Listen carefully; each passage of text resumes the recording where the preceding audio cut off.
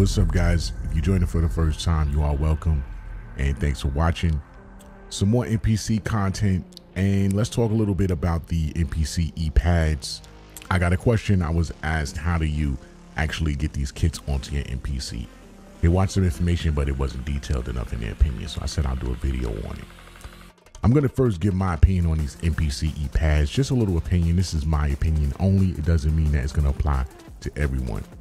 In my opinion, these MPC e-pads are not all it's cracked up to be. They're a little difficult to use based on the surface of the pads, the size of the pads. If you have fat fingers or large fingers, I don't see how these MPC e-pads are going to work for you. So don't feel so bad or don't feel like you're missing out on something. It's just more of a selling point, in my opinion. It is great technology. It's different. It's new. No other Groovebox has it, but actual use of the MPCE pads is a whole nother story. If you do perform with the MPC Live 3, 2, or MPC Live, please put it in the comments. Let me know if these pads actually even work for you, if you even use them. Enough about that. Let's actually get into the idea or the concept of actually getting these kits, these MPC E kits, onto your MPC Live 3. After all, it is better to have something and never use it than to need it and not have it. And after all, you did pay for this. So let me show you how to get it onto your MPC Live 3. First thing you're going to need to do is you're going to have to come to profile.inmusicbrands.com. You're going to have to set up your account if you don't have one. And it's not my favorite site, but it's okay. You still have to set up a profile either way if you want to get these expansion kits onto your device. You can also go to the airmusictech.com site and it's the Air Store and you can also download Software Center. I use a Mac, so here you have the option to either download for Mac or download for Windows. Let's go back to the account. But what you're gonna do is you're gonna first register your account and then they'll say register details, where you can see your register details. And over here to the right, you'll see software downloads and you'll see a music software center. You click on that, and here you can download for your Mac or your PC. And alternatively, you can also go to this other site that I told you about, the Air Store, and you can download it here as well. Once you have your account set up and everything, you want to put your MPC into controller mode. And if you don't know how to do that, it's pretty simple. You just go to the main screen and you'll see a little chip icon in the top row. And that's where you put your MPC Live 3 into controller mode. Now, again, most of us know how to do this, but there are some people out there who are just picking up an MPC for the first time, or maybe they never used an MPC, they've heard about it, but they never took the plunge. They decided to take the plunge with this MPC Live 3. I apologize if this information is a bit redundant. No such thing as too much information. So once you set up your inMusic Software Center, you downloaded everything, you can open it up, follow the prompts, and voila, you're into your account. And here you have access to your products, your software, your hardware, all of this good stuff that they have here. As you can see, I don't have a lot of this stuff activated. I don't use a lot of this crap. I feel that it's just extra stuff to do. I'm trying to do music, so I don't even use a lot of this stuff. But to those of you who want it, and for those of you who want everything you pay for, I don't blame you. You come here and this is how you activate it or deactivate it or buy it or whatever it is that you do. I just want to show you you have access to everything here. With that said, you scroll down to your expansions because we're looking for the MPC expansion kit. And here it is right here. So here they have a little arrow here. You have to click down on that arrow. And here you have the standalone option here, MPCE Expressive Kits. So you can go ahead and download that however long it takes. Okay, good to go.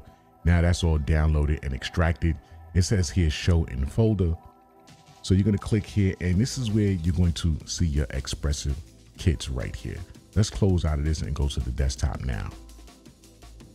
As you can see here, I actually created a folder called MPC data onto my Mac desktop and I dragged anything that I installed or downloaded, I just dragged it into this folder. Here's my MPCE expressive kits right here. We'll get back to that.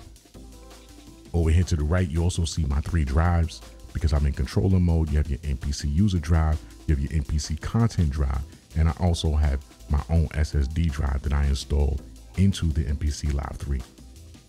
That's a whole nother video, but we'll get back to that. So let's open up this folder here and let's open up the kits folder. And this is where you have all of your content here. Drum tools, template kits, textures, genre kits, sub bass, all of that good stuff, right? You also have your PDF instructions here that come in the folder and it tells you exactly what to do. They actually recommend that you use an internal SATA drive for ease of use. They say that because they actually don't have enough room on the drive to install this kit. I, I mean, I don't know why they went and put this on to start with, but that's why they tell you to use a SATA drive, which is recommended. It also says here to create a root directory on your drive. So you can look at these instructions when you download it. I'm not going to read through the whole thing, but let's go to the drive. So this is my SATA drive here. I'm going to create a folder and we're going to call it expansions. So now that expansions folder is there. Let's close out of this and we can drag this MPC Expressive Kits folder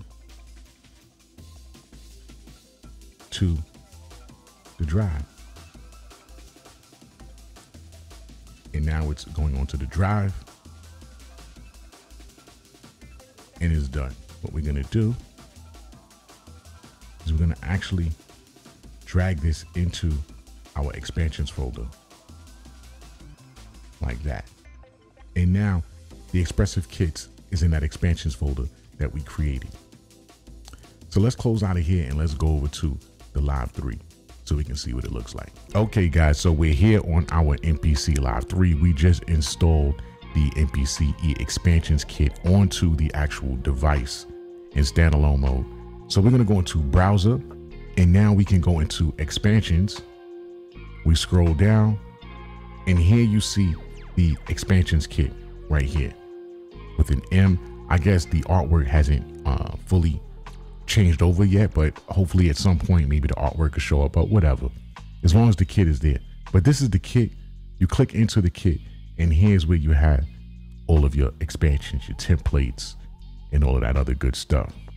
And that's how you get the MPCE expansions kit onto your Live 3. It actually hasn't been too much hype around it. I guess people are kind of passing on this. And I get it. Maybe it'll pick up some steam later. But for those of you who have picked it up, this is how you actually download the MPCE expansions kit onto your Live 3. That's going to bring this one to a close. I hope this helped. Until the next time, I'll catch you guys next video. Take care.